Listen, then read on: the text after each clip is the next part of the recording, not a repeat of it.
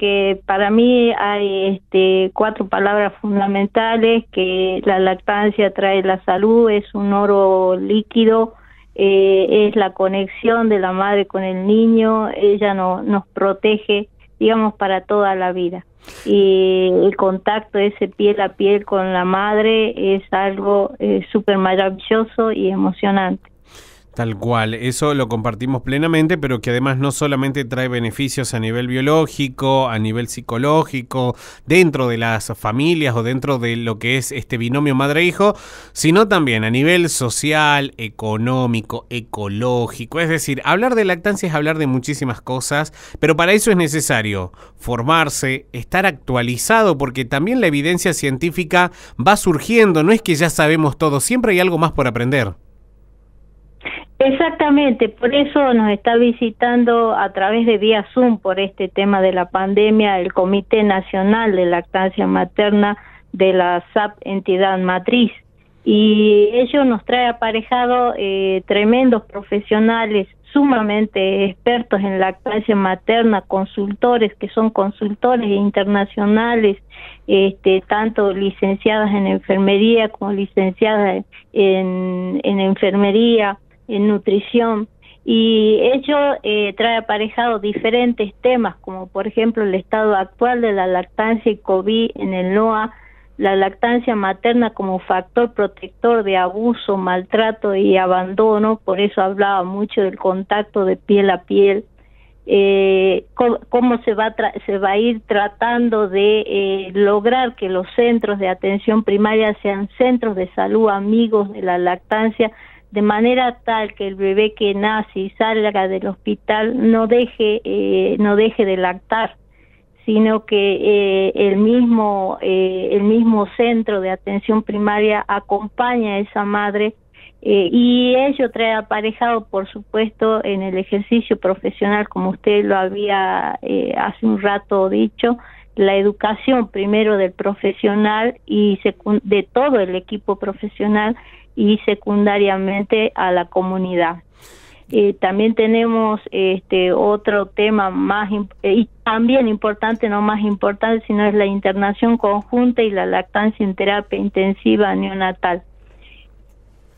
y relactación que va a dar la doctora Mercedes Grau, que es la prosecretaria, eh, también miembro de la del comité eh, de la SAC filial Jujuy, juntamente con el doctor Quintero, prosecretaria, que ambos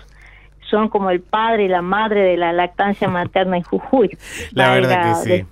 Sí, la verdad que sí, es importante reconocerlo al doctor Quintero, bueno, y a su colega también, porque son... La doctora Mercedes Grau. Exactamente, porque son siempre una cara visible de, de todo, en todo el año de este tema. Pero quiero retomar un punto que usted acaba de decir y que me parece importante y que no tiene que pasar desapercibido, y que voy a citar una frase del doctor Quinteros cuando habló con nosotros la semana pasada, que nos dijo que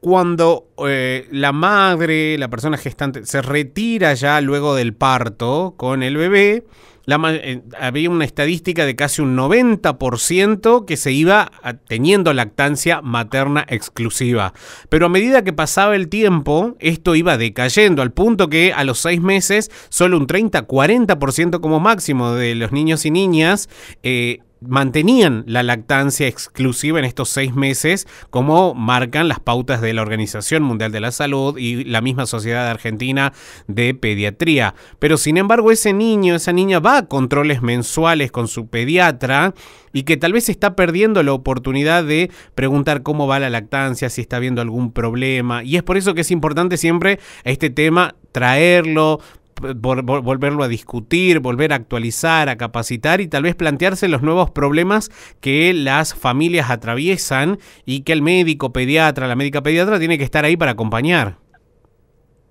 Exactamente, exactamente. Por eso también acerca de ese tema va que toca APS, o sea, atención primaria de la salud, lo va a tocar una eminencia que es la doctora Vera May, que es una vera eh, médica pediatra, consultora internacional con posgrados este, en observación de lactante, este, y ella es la que nos va a ayudar a promover el centro amigo de la lactancia, justamente para desde el primer lugar de atención tomar a toda la familia, concientizar a toda la familia, pero primero debe estar bien concientizado todo el equipo de salud. Cuando hablamos de todo el equipo de salud, hablamos desde el agente sanitario, sus jefes, este, el médico pediatra, el médico de adultos que también la atiende a la madre, el padre involucrado, el abuelo, el tío, este, y eh, en la escala del equipo de salud, el obstetra, el obstetra, la enfermera, todo el mundo capacitado y así poder certificar para centro amigo del niño amigo de la madre y del niño. exacto, un trabajo que también están haciendo ustedes en la maternidad y sabemos que es un trabajo exactamente, muy muy importante, ¿no? Poder certificar y además de poder certificar. exacto y de poder adoptar todas las políticas, toda la estructura, toda la infraestructura necesaria para poder acompañar. Y en esto también le tengo que preguntar, doctora, ustedes desde la SAP esta actividad de la que estamos haciendo referencia, ¿a quién tiene como público objetivo?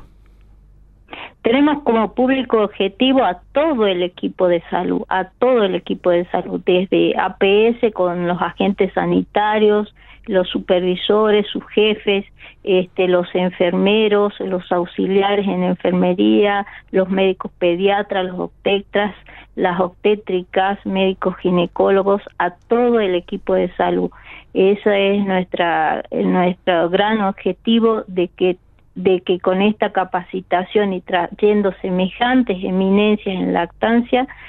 que desde luego vuelvo a repetir, nosotros también contamos con ellos este, acá en Jujuy, eh, pero eh, renovarnos, renovarnos en lo que es el oro líquido, renovarnos continuamente este, y tratar de recertificar los hospitales. En este caso, por ejemplo, eh, el hospital Guillermo C. Patterson, que va a recertificar de la mano de la doctora Mercedes Grau, como le decía, que es como la madre de la lactancia, y que deja a la doctora Carolina Martínez como el semillero.